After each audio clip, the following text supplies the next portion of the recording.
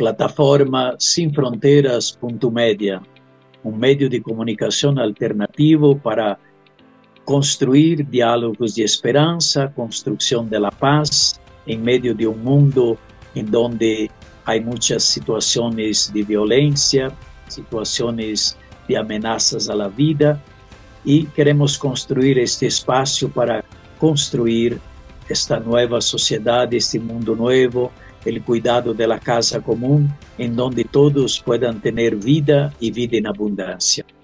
Y continuando nuestros diálogos en estos podcasts, hoy queremos también enfocar un trabajo, un, una experiencia de trabajo que se está realizando en Brasil y a partir de una realidad muy concreta que creo que también está presente aquí en Ecuador y en tantos otros países aquí de Latinoamérica y en el mundo es el problema de la trata humana, que es un, un, negocio ilícito y que en el mundo hoy rinde mucha plata y prácticamente no es que haya así un control por parte de los gobiernos para detener eh, todo este esta, esta trata de personas en donde muchas personas son víctimas cada día de esta situación.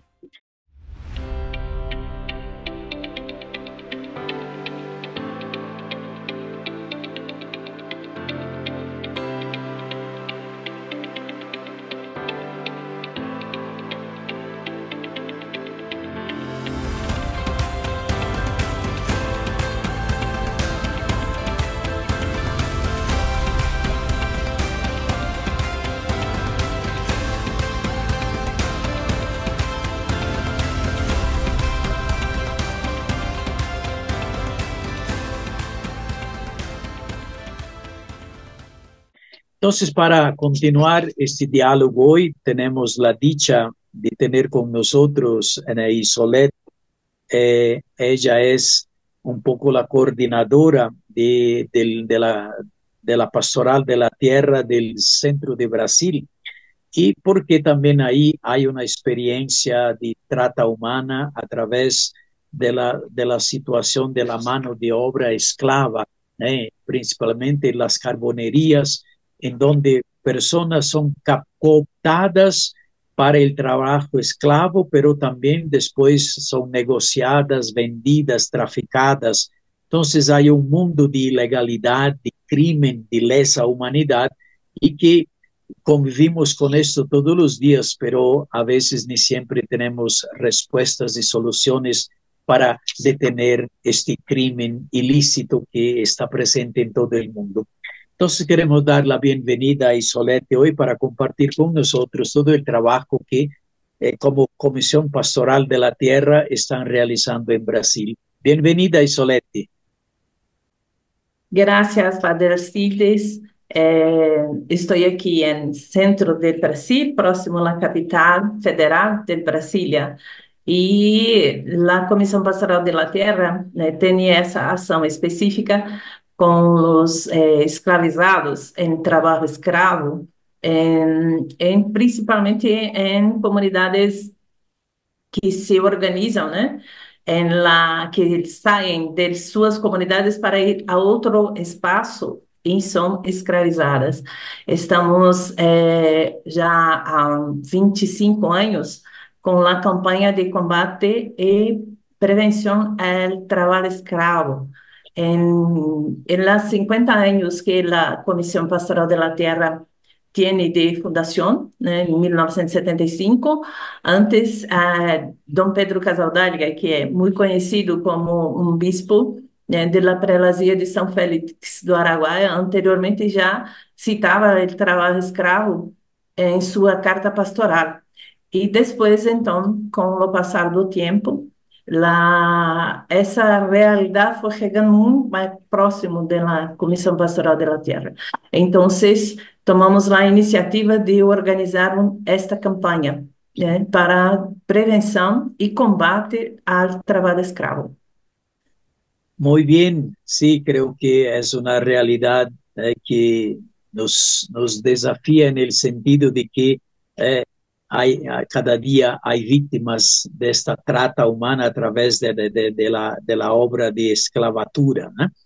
Eh, ¿Podría compartir con nosotros un poquito eh, ahí donde usted vive, en el centro de Brasil, cerca de la capital, donde debería ser eh, aún más controlados y fiscalizado toda esta situación de, de la mano de obra, de obra esclava?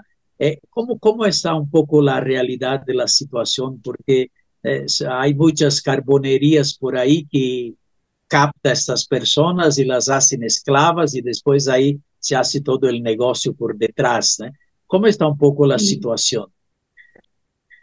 Tiene un, una red muy amplia e, e, dentro da cadeia do agronegócio, várias realidades que se detectam trabalho escravo, desde a gadeneria, a eh, carvoarias, eh, produção de canha-de-açúcar, eh, o café.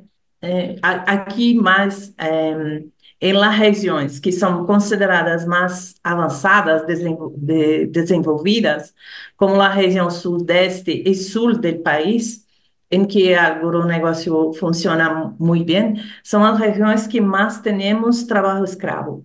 Em, ano passado, 2023, eh, o estado de Goiás foram uma, das regiões com, com mais trabalhadores libertados. Queremos é, salientar que, trazer essa reflexão que trabalhamos em cima de, de números, de dados, que são apenas de trabalhadores libertados. Né? Essa realidade é muito mais ampla, é, que nem sempre conseguimos a, a, a, arregar próximo a essas a pessoas que têm que são escravizadas, mas aquilo que conseguimos chegar com a conscientização, com a informação, conseguem fazer essa denúncia a eles órgãos competentes, principalmente ao Ministério Público. Em Brasil, né, las secretarias de Trabalho e Emprego que têm na, em, em, em las cidades, principalmente las capitales, e que conseguem fazer essas denúncias. A Comissão Pastoral da Terra, tam, da Terra também encaminha essas denúncias para que sejam averiguadas por um grupo amplo que se chama Grupo Móvel de Trabalho Escravo, que vai até essas fazendas, em la produção, em la indústria, também averiguar e fazer a fiscalização. Mas é um número reduzido de, pe de pessoas que estão envolvidas nesse processo. Então, seria necessário ter mais a política mais ampliada, como também mais recursos e mais pessoas para se fazer a fiscalização. Então, isso ocorre né? principalmente em regiões, como já é, citei anteriormente, que são consideradas muito desenvolvidas, né? Então, é uma realidade muito e que está muito presente na vida das pessoas e, e, muitas vezes não conseguimos reconhecer, né? Como, como em últimos anos eh, se tem eh, conseguido libertar também trabalhadores, trabalhadores principalmente, trabalhadores e trabalhadoras eh, em, em trabalho doméstico que era completamente invisível. Então, são realidades muito amplas, né? Sí, como usted decía antes, esta gente prácticamente también viene de otras partes de Brasil, ¿eh? porque son cooptados por estas grandes empresas, este, estas, estos dueños del agronegocio, y que traen personas y, y prácticamente las hacen esclavas en sus haciendas, en sus territorios, y, y porque creo que eh, también como, como sucede en tantos otros lugares, a veces la persona ya llega como esclava porque ya tiene una deuda para pagar cuando llega, ¿no? y después todo el trabajo que se realiza es prácticamente, ¿no? no, no tiene libertad y son, son prácticamente esclavos ¿no? de toda una situación. ¿eh? ¿Cómo es sí. esto? esto? Sí, en, en, la realidad que vivo en el centro oeste, recibimos muchos trabajadores y trabajadoras del, da região nordeste do Brasil.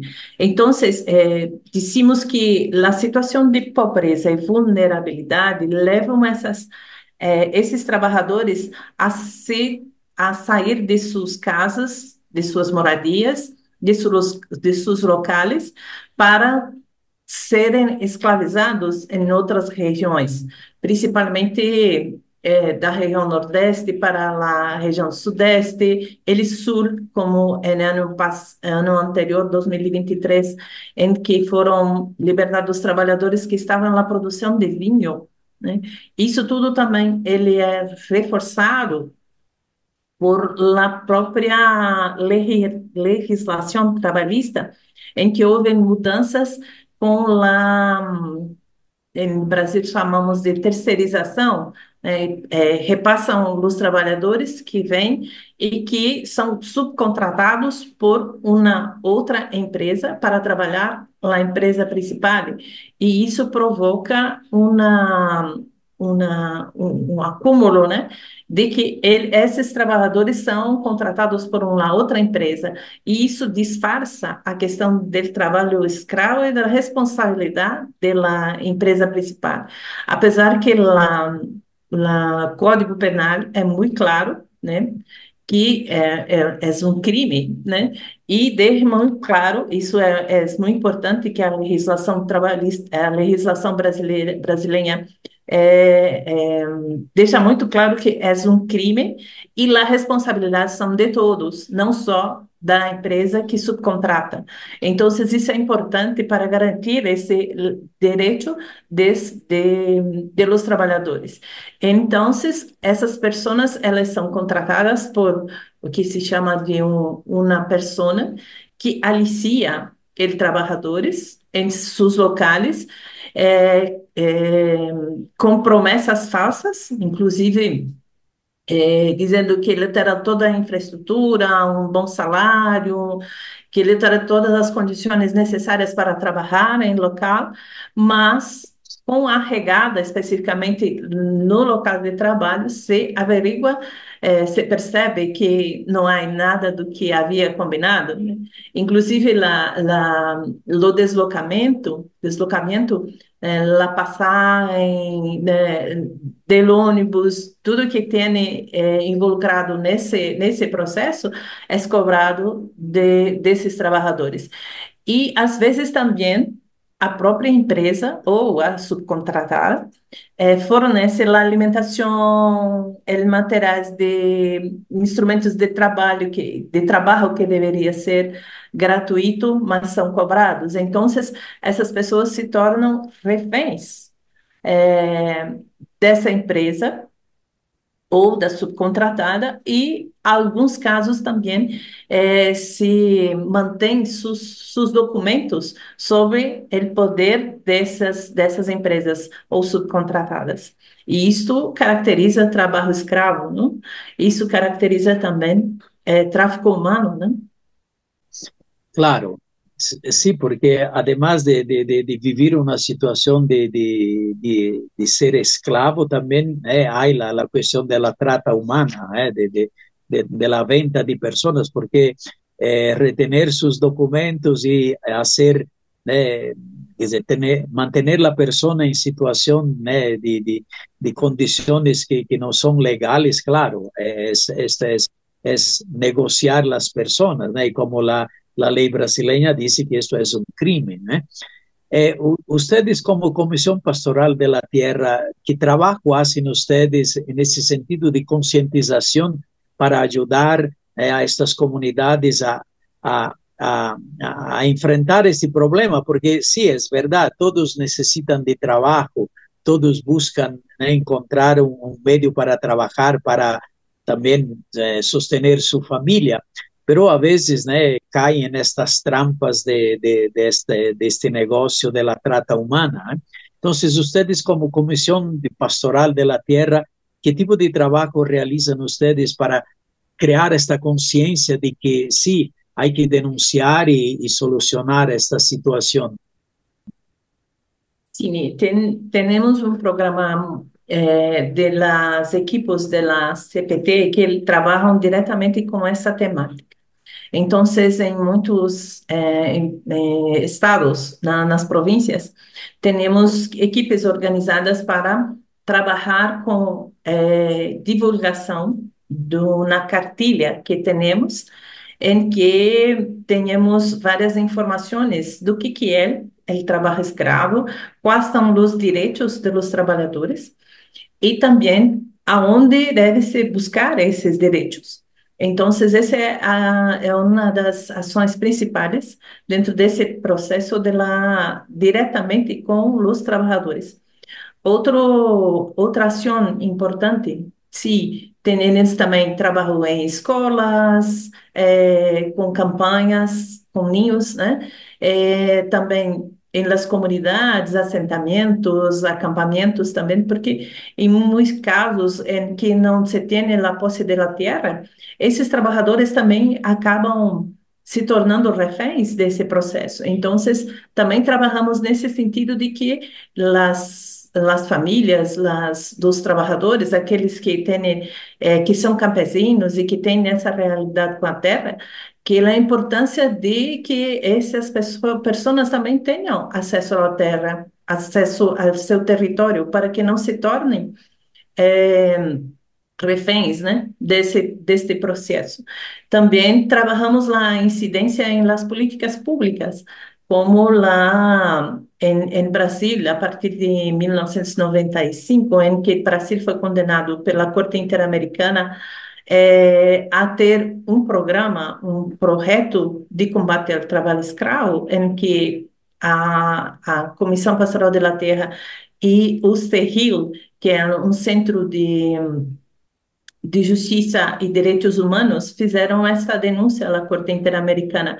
Então, o Brasil foi condenado a ter um programa e políticas específicas de combate ao trabalho escravo. Então, esses espaços de incidências, como a Comissão Nacional de combate ao trabalho escravo, em que participamos para discutir e também ampliar essas questões de las políticas.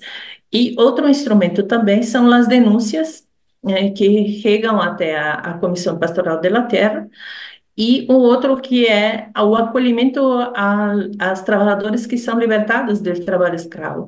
Alguns é, se, saem das fazendas, escondidos, e fazem a denúncia. Então, a Comissão Pastoral da Terra também é, faz a acolhida desses trabalhadores e trabalhadoras para que eles possam ter segurança, porque muitas vezes são ameaçados em las fazendas.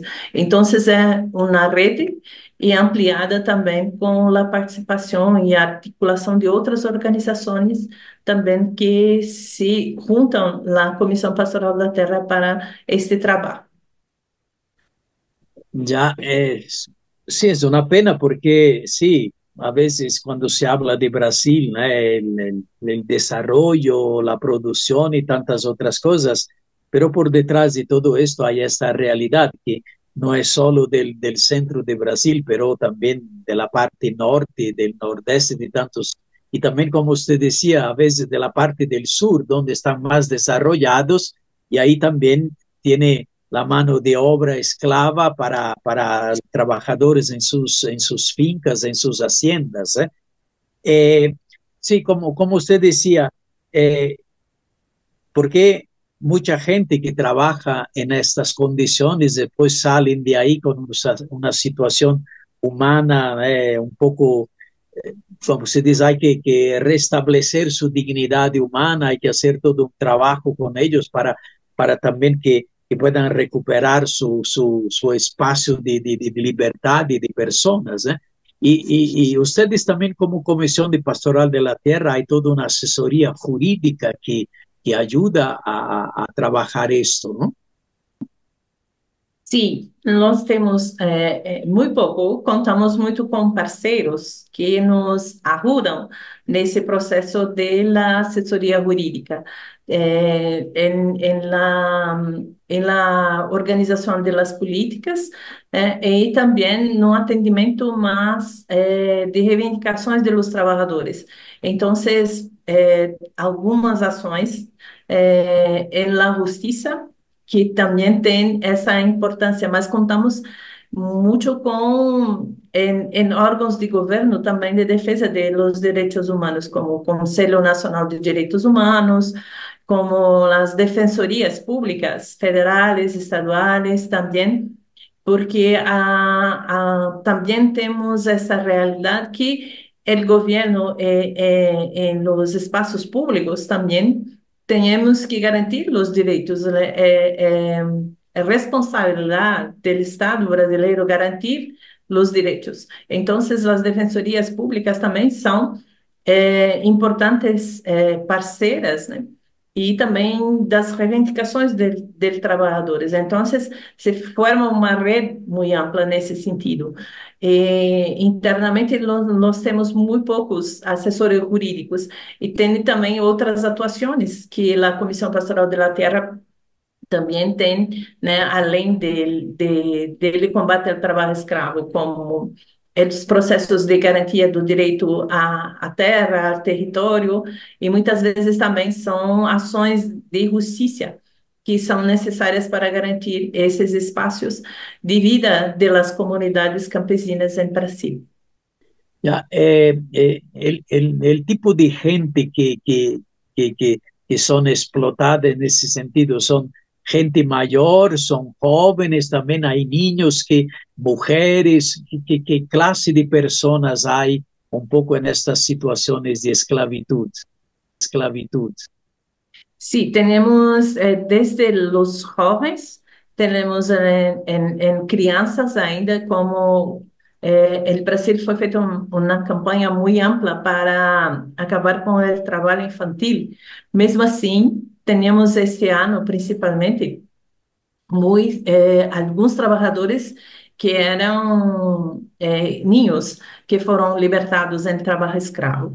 Eh, menos mulheres, mulheres muito mais né, em la área urbana, principalmente nas confecções. Então, tem muito mais mulher, mulheres nesse tipo de trabalho.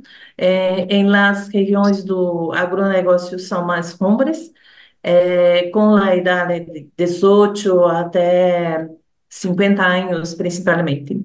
Então, são, são pessoas que saem de suas residências e vêm a outros locais. Então, temos poucas mulheres.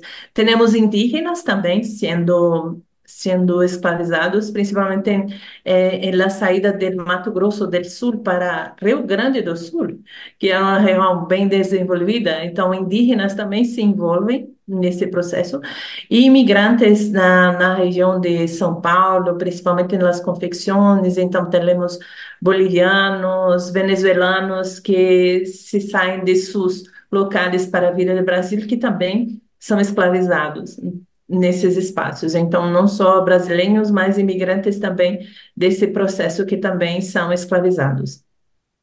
E também creio muitos asiáticos, haitianos e coreanos, né, que Sim, também é com certeza. mundo, assim, muito, que nadie sabe e conhece muito, né? Sim, em sua maioria são pessoas negras, então também eh, trazemos essa questão do, racismo, né, com um forte acento em trabalhadores escravos, escravizados. Não? Sí, porque como, como la, la, la cuestión afro es, es, sí, prácticamente gente que a veces son, son los que más sufren las consecuencias de no tener trabajo, entonces también Sim, son explotados en ese sentido. ¿no? Eh, además de, de ustedes como Comisión Pastoral de la Tierra, que es un- una, organización eh, eh, de la Iglesia, ¿hay un apoyo del trabajo que ustedes hacen por parte de, de la Iglesia, de las iglesias locales, de las diócesis, de los obispos? ¿O ustedes llevan aparte un trabajo y ellos no se involucran mucho con esto? con esto? Ah, Alguns se involucram, sim, alguns, mas muito poucos dentro dessa dentro de um, um, um- uma igreja muito grande em Brasil, da Conferência de los Bispos. Temos muitos apoios, né, em, la, em, em mas é, é, é, como, como é um, um trabalho muito na área social, muito, que, dá, que traz muita visibilidade à realidade, eh, tem também essa dificuldade. Em La Brasil temos a comissão eh, da CNBB eh, contra o trato de pessoas, em que também temos um assento na comissão e participamos desse debate junto às dioceses. Então, é importante isso, esse apoio da Conferência Nacional de los Bispos, mas as igrejas locais nem sempre dão o apoio necessário. Então, se temos esse, essa importante né, comissão que trabalha isso e fortalece muito o trabalho da Comissão Pastoral da Terra, e então esse é o apoio que temos da igreja. Mas as, as paróquias, as dioceses, nem todas assumem essa tarefa de, de defender e de combater o, o trato de, de pessoas. Eh, en relación a la cuestión de la trata humana, de, de, la, de la venta de personas, porque ahí, como ustedes están en el, en el centro de Brasil, también hay cercanía también con Bolivia, con eh, otras regiones de Brasil, y, y, y, y prácticamente eh, usted tiene información de que hay una venta de personas, además de todo el trabajo esclavo en el centro de Brasil, o hay también otras situaciones ahí donde la trata humana es, es un gran negocio también en Brasil. Sí, tenemos eh, el centro de, de, de, de, país aquí, principalmente en, en Goiás, tenemos muy mujeres que salen de acá, não, não é uma realidade muito do campo, mas la cidade, e que são traficadas para países, para para a prostituição, sim. Isso tem tem tem um, um grande número de pessoas que saem de cá para ir a outros países. Isso acontece também com os migrantes, né? Temos uma quantidade enorme de pessoas que saem aqui de Goiás, onde estou, para outros países, para lá para o trabalho, né, com condições de vidas melhores. Então temos essa realidade muito grande aqui em, em, em nessa região, né? Apesar de estarmos muito próximo à capital, né? sim, mas as políticas elas elas não não chegam com com a eficiência que deveriam chegar, não? Então temos essa realidade aqui. Claro, sí, porque también, como decía, es una realidad de toda Latinoamérica, ¿eh? Sí, La trata claro. de personas está ahí muy, muy presente, ¿eh? Además, a pesar de todo el trabajo que hace la red de clamor ¿eh? de, la, de la conferencia ¿eh? de, la, de los religiosos de América Latina y de tantas organizaciones que acompañan todo este trabajo. ¿eh? Sí, bueno, para ir concluyendo un poco todo nuestro diálogo de, de, este compartir de esa experiencia del trabajo que ustedes están realizando para ayudar a, a sacar personas de esa situación de esclavitud ¿eh? en el trabajo de, de, la producción de la caña, del café, de, la, eh, de tantas otras cosas que se hacen ahí. Eh, ¿Cuáles son los desafíos que ustedes tienen aquí por delante? Sí, tenemos la es un, un, trabajo muy de, de la información, de la concientización, tiene involucrar otras personas. ¿eh? Sí, esqueci de, de afirmar que en la, além de la conferencia, en religiosos del Brasil da, con, tienen un programa que, que también tenemos eh, una articulación ¿eh? con eh, uma rede que se chama Um Grito pela Vida, que também tem religiosas e religiosos que trabalham esse aspecto em Brasília. Então, é importante destacar esse trabalho importante de, de religiosos e religiosas e fazemos muito parcerias nesse trabalho juntos, né?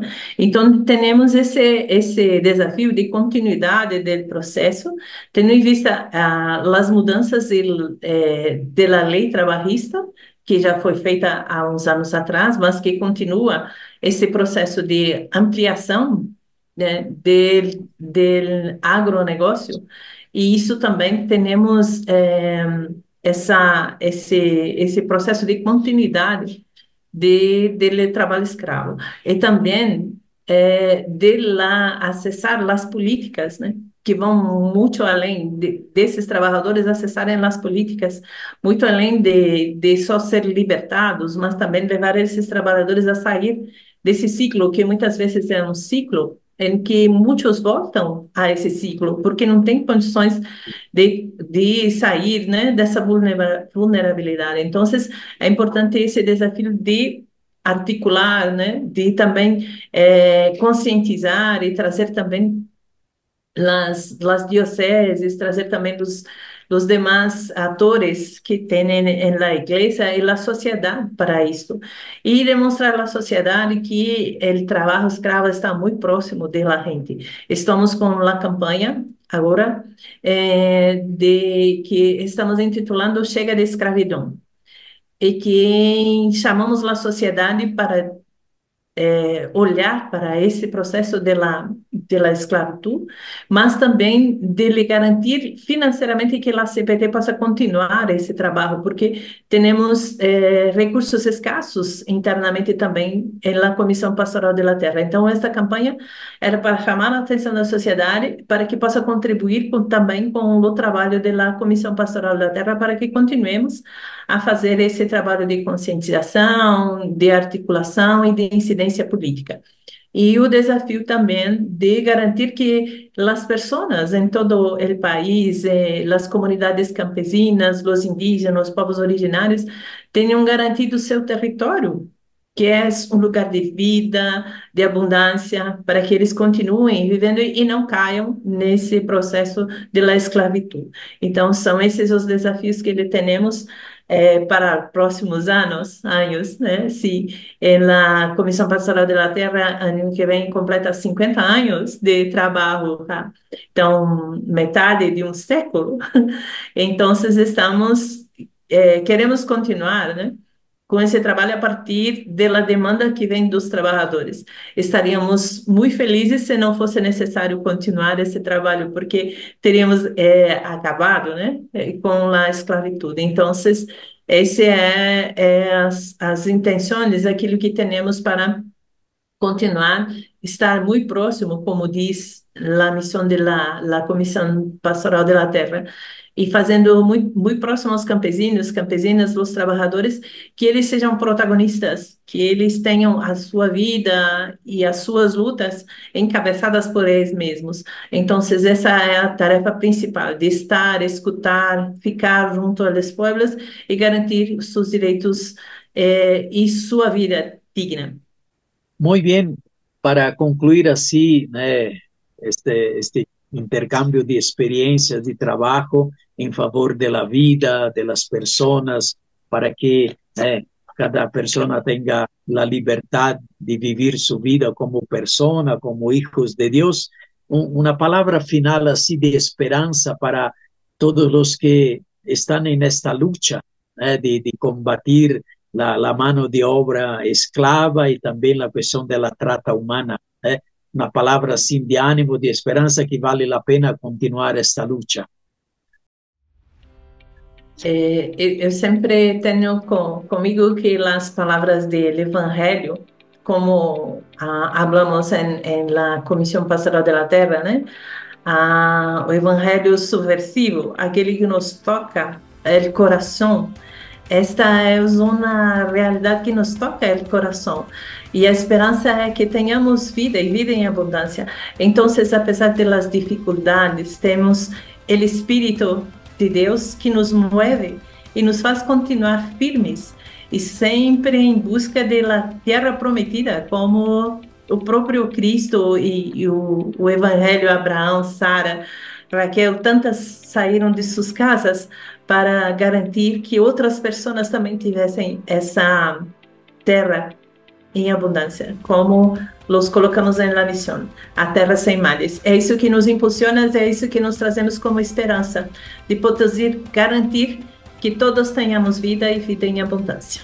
Muchísimas gracias, Isolete, por haber compartido con nosotros toda esta experiencia bonita de trabajo que ustedes están realizando en Brasil y que con tantas otras en tantas partes de Brasil y de y de Latinoamérica y de todo el mundo, ¿eh? la lucha por la dignidad de la vida de tantas personas. ¿eh?